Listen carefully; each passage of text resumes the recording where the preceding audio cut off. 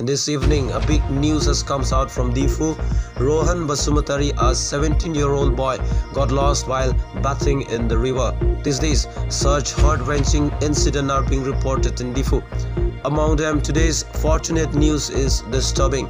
Actually, the 17-year-old boy named Rohan reached tourist spot in Longnit Siloni, also known as Longso Kangtu, with some of his friends to have fun and bath in the river. No one has any idea when he disappeared while bathing in the river. The search operation is going on by the police because the boy has not found yet, so we cannot say whether the boy is alive or not. The boy's parents and family were waiting for their son in Siloni this night, crying and sobbing.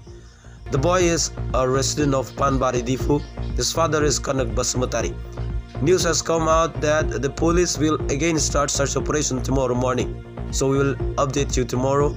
Thanks for watching. This is Digit Ronghang. The news has been reported by Rohit Tarang from Diphu in NN Varta, Northeast India.